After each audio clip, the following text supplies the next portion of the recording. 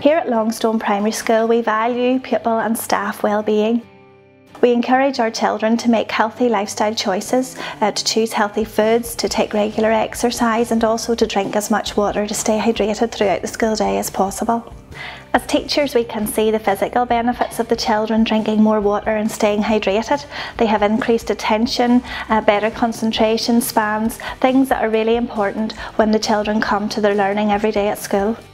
We've always encouraged the children to bring their own water bottles to school and to use them in class, but since we've installed the Glacier water system, we have noticed that the children are, tend to drink more of the water due to the improved taste and quality, which encourages them to stay hydrated throughout the day at Longstone Primary School.